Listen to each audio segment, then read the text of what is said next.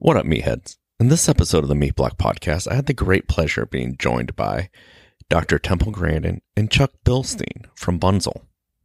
In this conversational style episode, we talk about some of the things that small producers could do to bring their animals to market, the hurdles, the zoning, the logistics alone, as well as how important it is to invest in your employees and the knocking and the processing in all aspects of the industry.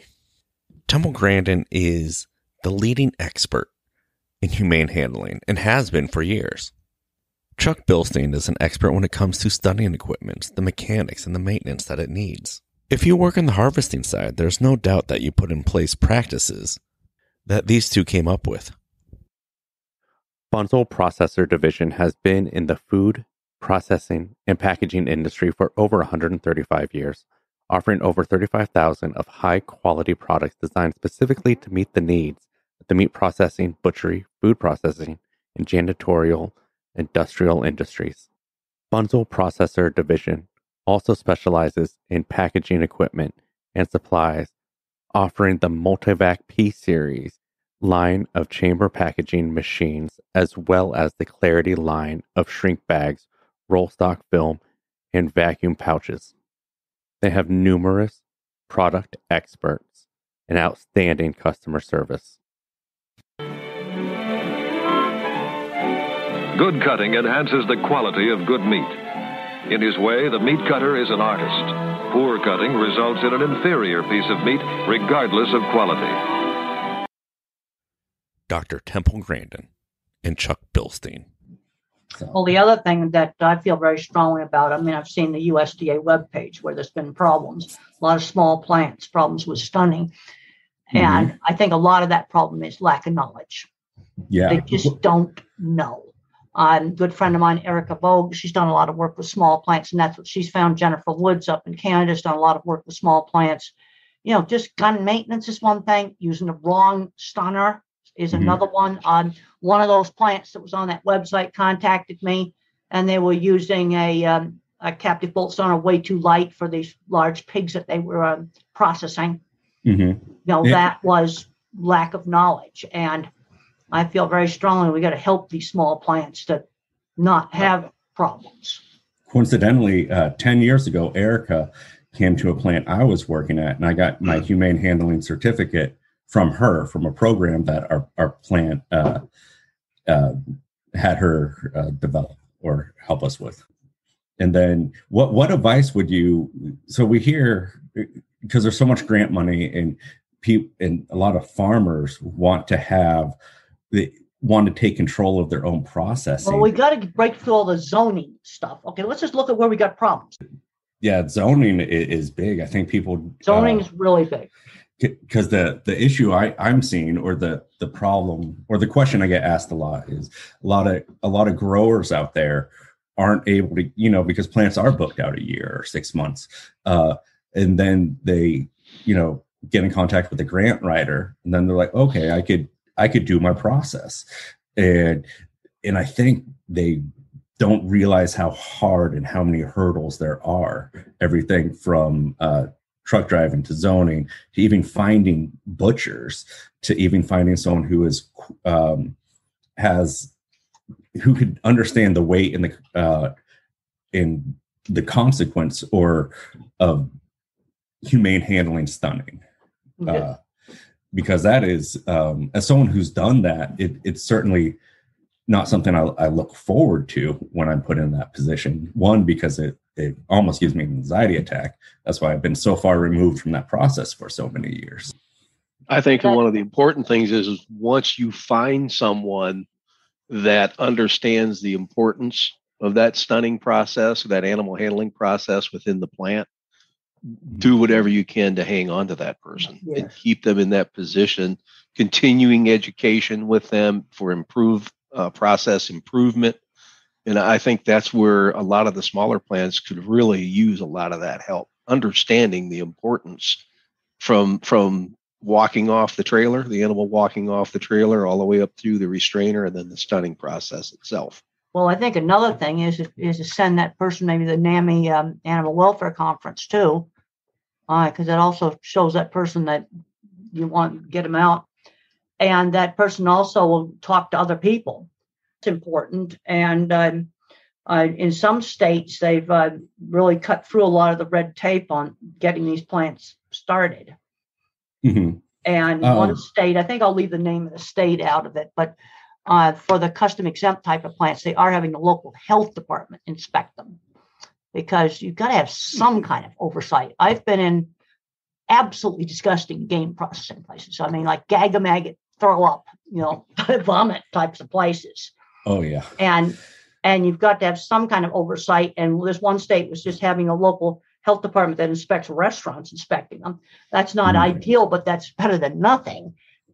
yeah. And now there may be others that that are good.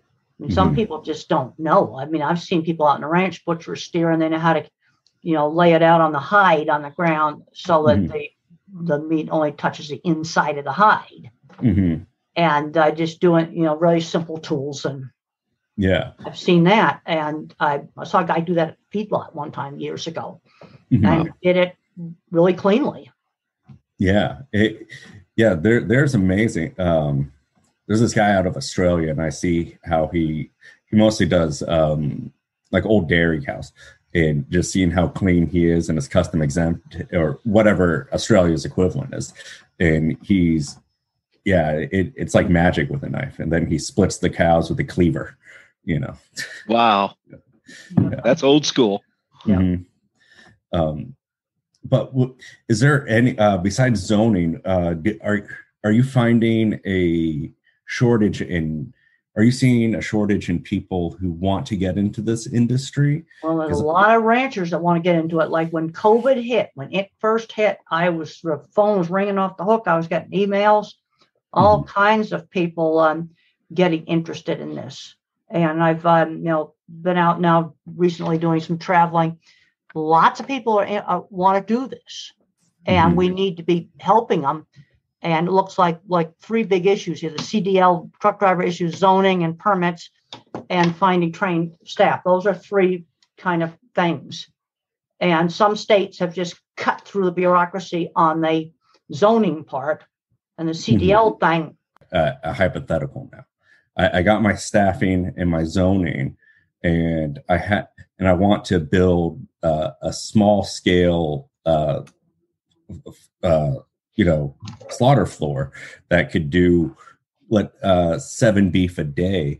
What things should I implement that would help ensure uh, good humane handling practices and good employee safety? Well, the other thing I talk to people about is power requirements, water requirements, and how are they going to get rid of the innards? hmm That Yeah. these these are things that all have to be, be figured out up front. Um, you know, a certain amount of innards you can compost, but then in some states that's not legal. Yeah.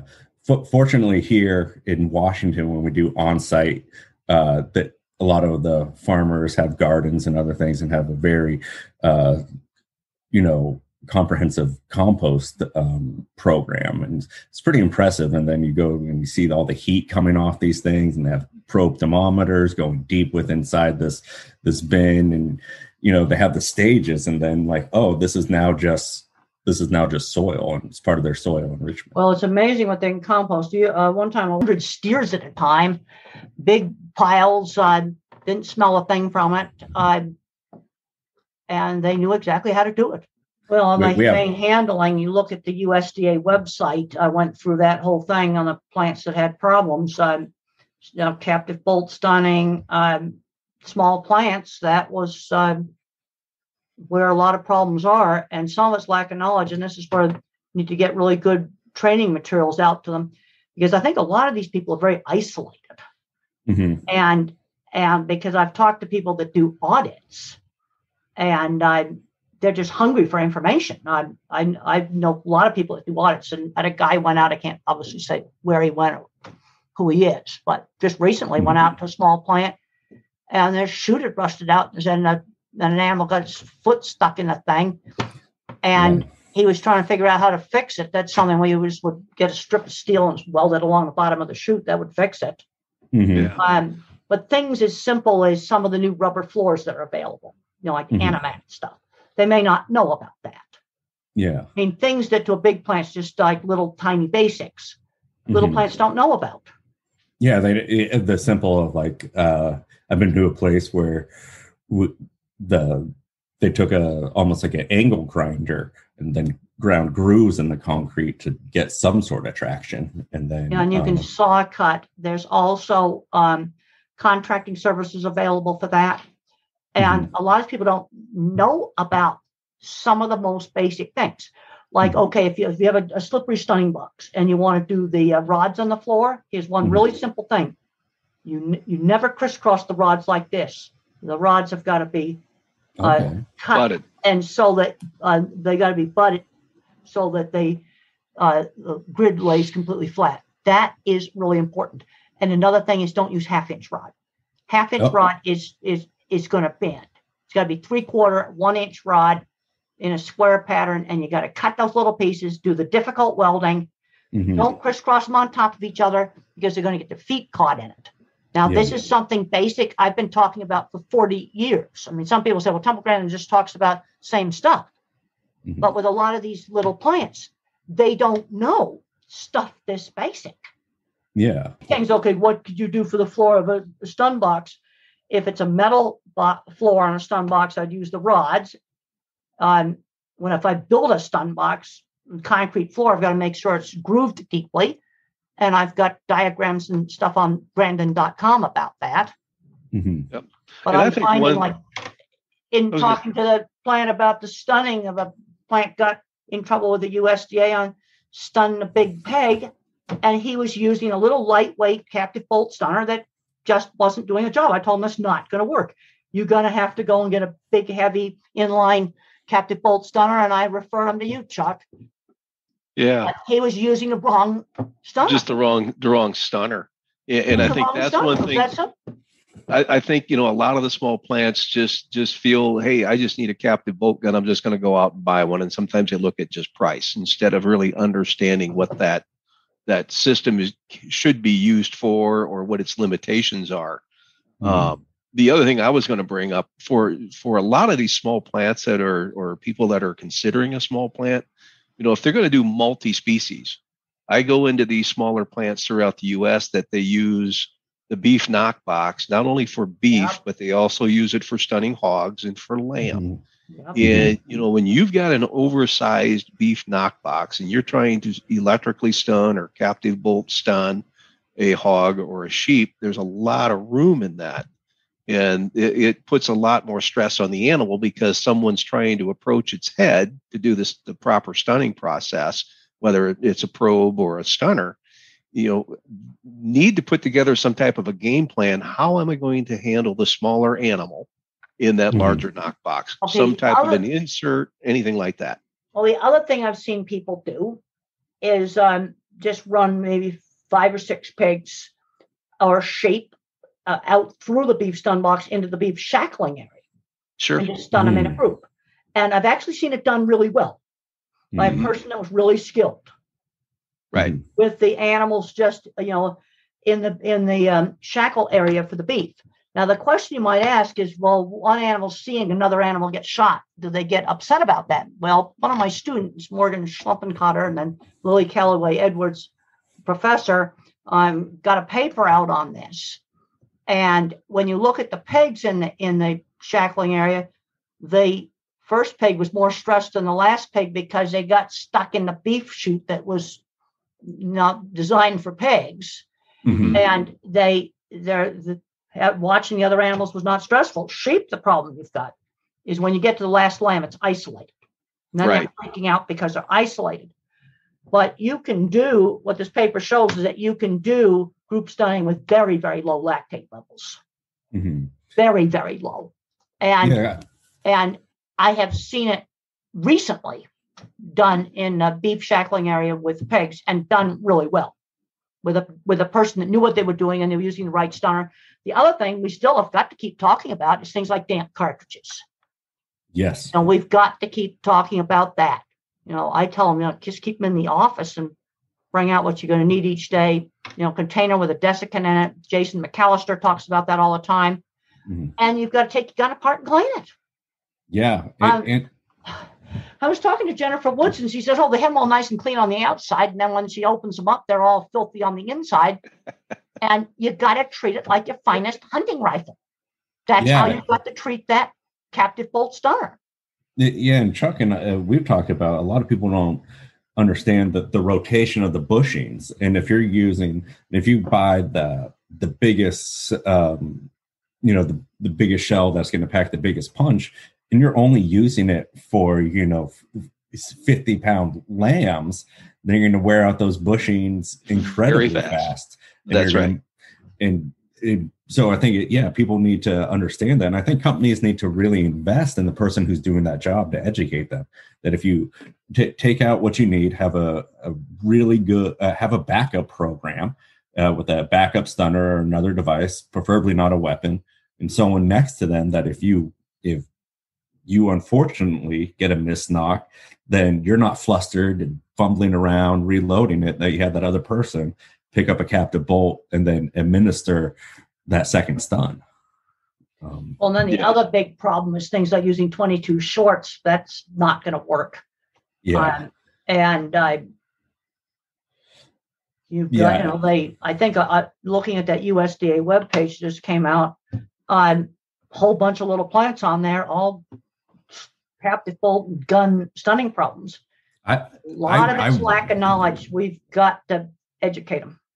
I really don't like uh, using uh, live live ammo or, or weapon in because I I worked with this inspector and he had a um, like an army helmet because he was in the service and he wrote USDA and that was his hard hat and I was like why are you wearing that and he's like because every once in a while at some plants you could hear a ping and you could hear it shoot Oh. off somewhere I was doing some auditing. It was quite a number of years ago.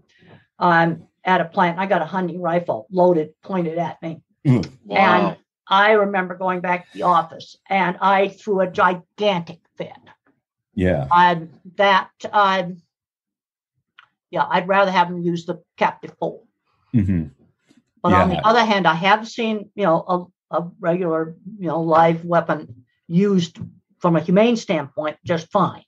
yeah it, it uh, you were talking about 22 shorts uh, 22 My- shorts are like a no no. Yeah. You got to use something more powerful than that. I've used 22 mags Yeah, Uh, yeah, yeah. and Yeah. uh, and I um but not on not on uh large scale beef mostly on on smaller uh on the smaller side of animals. Well, the other problem we've got with some of these grass-fed animals is you got a lot of older animals. Like one place Oh, where yeah. the, where a plant um, got in trouble with the USDA, it was a three-year-old market hog. Mm-hmm. Well, a commercial market hog's not three years old. Yeah, and they're gonna So have a, you've got- s- Um, very, very hard head, and that's where they got into trouble. memorable experience that I've witnessed with a missed knock was on a 10 year old Highlander. Um, and it had all that hair and it had thick hide and everything like that. And uh, the animal was able to be put down and we skinned out the head and, you know, the, to see where the penetration was. And it, it was right on right there. It just didn't, Wow.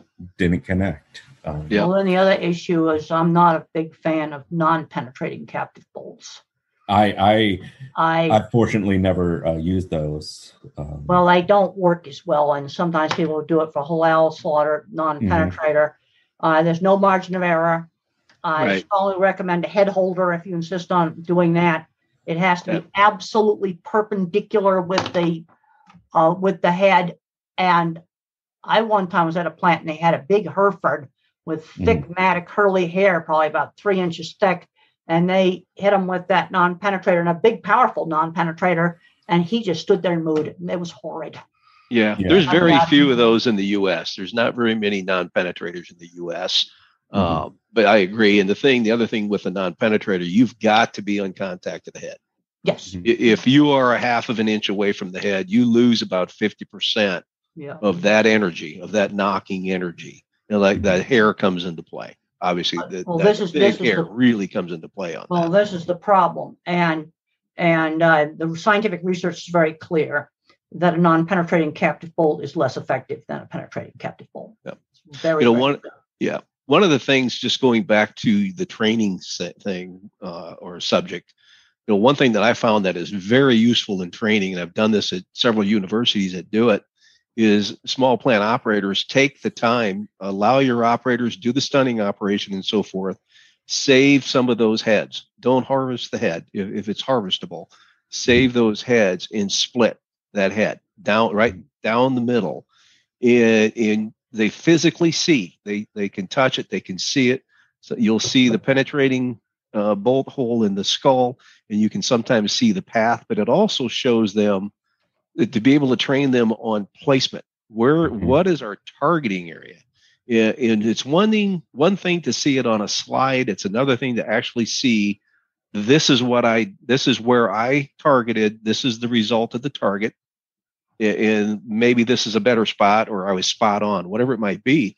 That that is a very powerful training tool to be able to do that and show them that. Yeah. So I, I encourage that. No, I, I totally, totally agree with that. Also, I'm going to be a shameless book promoter. This is my book just came out last year, The Slaughter of Farm Animals. Nice. And it's got uh, all the scientific research, but it also has got um, uh, lots of just practical um, uh, information on on handling, how to handle animals, how different stunning methods work. Mm-hmm. Um, and it's real up to date. It just came out real recently. Had to show I, that off. I'll have a, a link for uh, for that and your website in um, in the show notes of this episode. So I'll get I'll make sure I get that from Chuck. Yeah, and that you can link it. It's on my website on grandin.com, but it's linked to Amazon.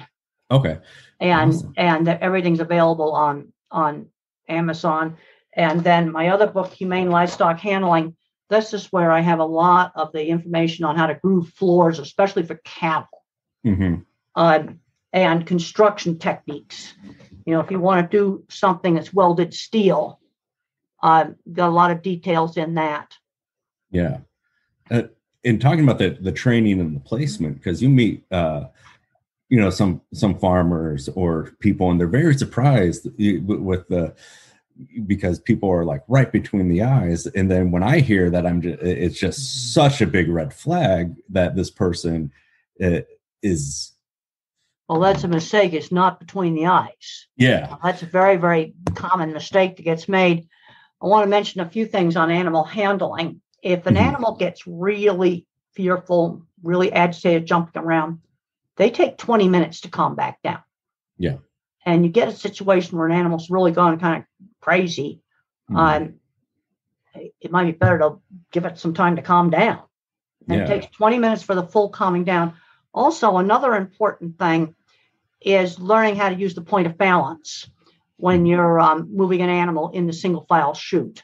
And in the video that Chuck has, that I the basic cattle handling, pig handling talk that I gave, which is available, there's a little diagram in there that shows that sometimes the best way to get an animal to go forward in the stun box is to quickly walk back by it yeah. on the catwalk beside the stun box, and you quickly walk back by it. When you pass that shoulder, it goes forward. Yeah. But what you don't want to do is stand at the head and take a paddle or some other driving tool, poke its butt. People make mm-hmm. that mistake all the time. Don't stand at the head of an animal in a single file shoot, and poke its butt. Mm-hmm. Often works is quickly walk back by it. Yeah. Then a quick walk back by it. And lots of times it'll go right ahead, right into the box. Another thing that's going to cause you terrible problems with getting an animal into the box is air blowing back into its face. Mm-hmm. You've got air coming out of that box back in its face, they won't go. And that's where you're going to have to work on ventilation. I've worked on improving a cattle entry by putting a light. You can experiment with the light. Mm-hmm. You may have to move the light because it may, it may have a reflection. Mm-hmm. And then you just move the light a little bit, and then the reflection goes away. Also, I've seen some prefabricated made stun boxes with the head holder that gave your animal a view of the slaughter floor. Yeah. That's not going to work. When that animal comes into the box, it can't be looking out onto the slaughter floor.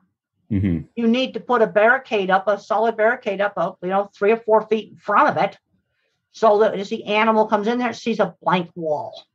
Yeah, in talking about that, that a lot of people are like, well, who would have air blown in the animal's face? But you, it's not intentional. You have the humidity of of the slaughter floor, and then you have this um, you know the knockbox opens up and it could be you know winter time and then you're creating all that humidity escaping through there which would you know create a breeze or something like that Right. um, and then one thing that um, I, I've heard is is the contrast that an animal, some animals, if they're walking on like um, like a white concrete, and then they step onto like more of a dark black top, that that the contrast confuses them.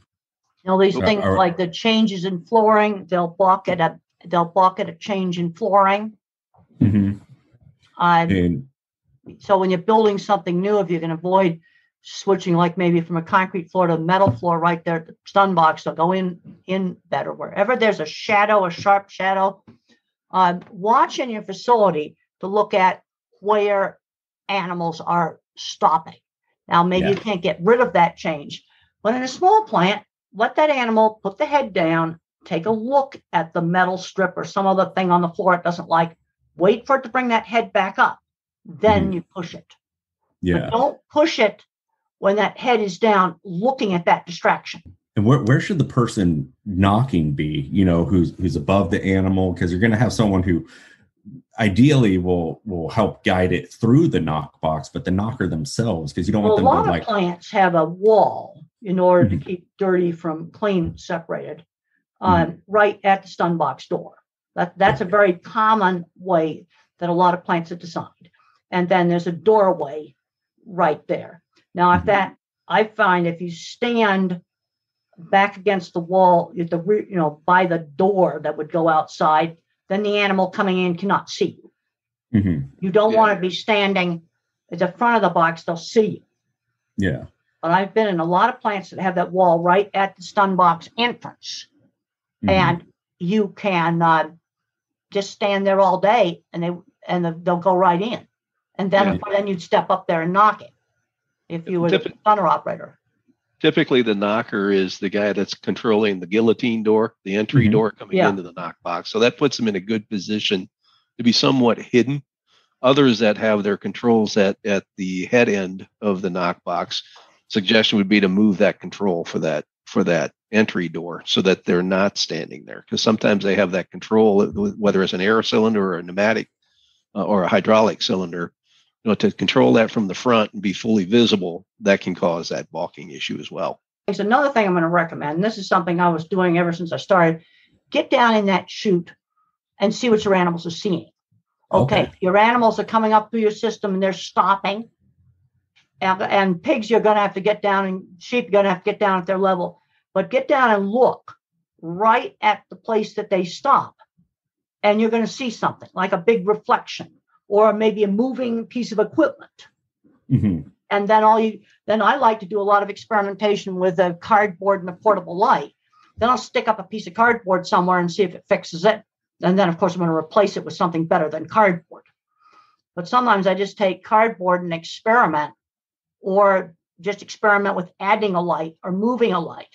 But just get down Mhm. in there Things you're going to have to get on your hands and knees. I've done it. Cattle you just bend over a bit and see Mhm. what your animal's seeing and you come Mhm. up there and you go oh there's a blue glove hanging down there over the top of the box. And somebody's hand is wiggling in a blue glove. And the cattle Yeah. see that. Or they can see a yellow boot through something. These Mhm. are the things that you need to be looking for. Yeah, definitely. Um, I'll give you my cell phone number. They can call me 970 mhm. 443 1510. 970 443 1510. Okay.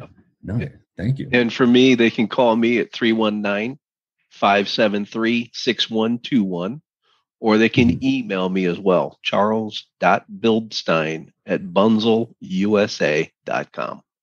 Now, for me, the best thing is to just call me 970 443 1510. Nice. And I want to say thank you again so much to both of you uh, for taking the time. And I think we got a lot of uh, amazing information out there. I learned a bunch from both of you. Um, and can uh, Temple, I've learned so much from you over the years. Um, just being in this industry and plans you've implemented, and you know, so I feel this conversation will help shed the light on on a bunch of things. We talked about the the shortage and the need for truck drivers and adequate qu- training and knocking. So thank you both so much, and I'll let you guys know when this is out. It was uh, great to be here.